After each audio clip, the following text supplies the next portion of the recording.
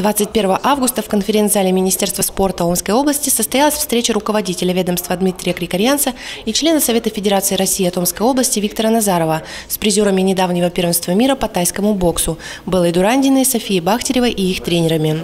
Виктор Назаров вручил спортсменкам и наставникам Вадиму Дурандину и Виталию Манчеру благодарственные письма, пожелал новых побед и пообещал всестороннюю поддержку в развитии тайского бокса. У нас есть э, не просто вот сегодня два победителя, серебряных призера на мировом первенстве, но у нас есть и э, та школа, которая даст еще новых чемпионов.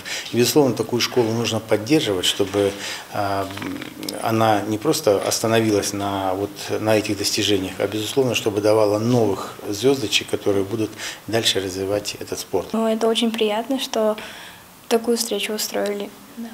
А как вы чувствуете на дальнейших ваших результатах? Сегодняшняя встреча как-то скажется? Да, конечно. Как? Ну, будем выигрывать. В мировом первенстве по тайскому боксу участвовали спортсмены до 18 лет со всей планеты.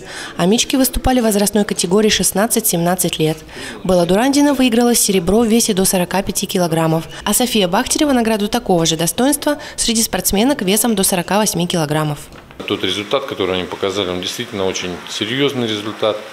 И вхождение в сборную страны – это э, очень почетно и правильно, а участие в чемпионате мира, еще и завоевание там э, медали, это тоже очень ну, серьезное достижение. Дай бог, чтобы оно было далеко не последним в судьбе этих э, девчонок наших.